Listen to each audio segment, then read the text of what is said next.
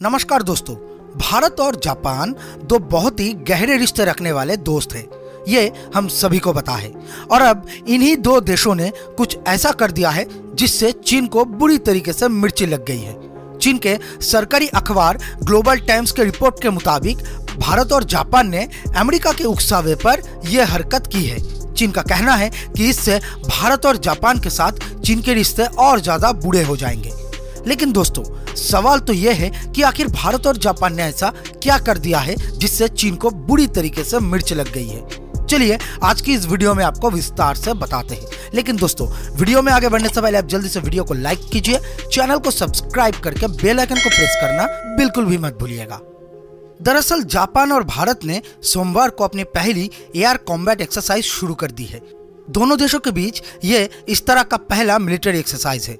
लेकिन चीन को इससे मिर्ची लग गई है। चीन का कहना है कि इस सैन्य अभ्यास से बेजिंग के खिलाफ जापान और भारत के बढ़ रहे मिलिट्री प्लान्स का पता चलता है। दोस्तों, जापान और भारत का ये संयुक्त मिलिट्री एक्सरसाइज दोनों देशों के बीच लगातार बढ़ रही दोस्ती और दोनों देशों की चीन को किसी भी कीमत पर रोकने के लिए किसी भी हद तक जाने की मंशा को दर्शाता है और इससे भारत को भी फ़ायदा हुआ है। भारत अब हिंद महासागर के क्षेत्र के बाहर अपनी सैन्य क्षमताओं को दिखाकर एक प्रमुख देश के रूप में अपनी मौजूदगी दर्ज करा दिया है। और साथ ही जापान ने अपनी धरती पर भारतीय फाइटर जेट्स का स्वागत किया है, ताकि भविष्य में जापान भी अपनी फाइटर जेट्स भारत भेज सके।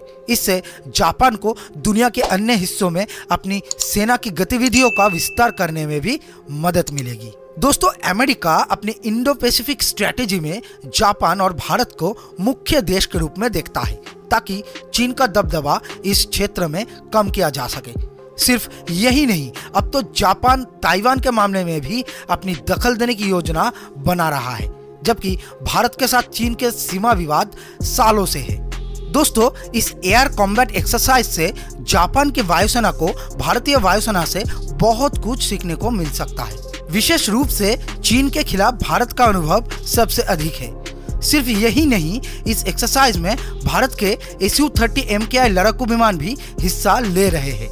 और आपको बता दें कि चीन की People's Liberation Army Air Force S U thirty M K K operate करते हैं। इसके अलावा S U thirty M K two S U thirty five J eleven J fifteen और जे सिक्सटीन लड़ाकू विमान ऑपरेट करते हैं। और ये सभी लड़ाकू विमान रूस के सू ट्वेंटी सेवन और भारत के सू थर्टी एम की तरह है, जिससे जापानी वायुसेना को चीनी वायुसेना से कैसे लड़ना है और उसे कैसे रोकना है, इसकी जानकारी भी मिलेगी, जो कि जापान और भारत दोनों देशों के लिए ही बहुत ही फ़ायदेमंद साबित होने वाली है।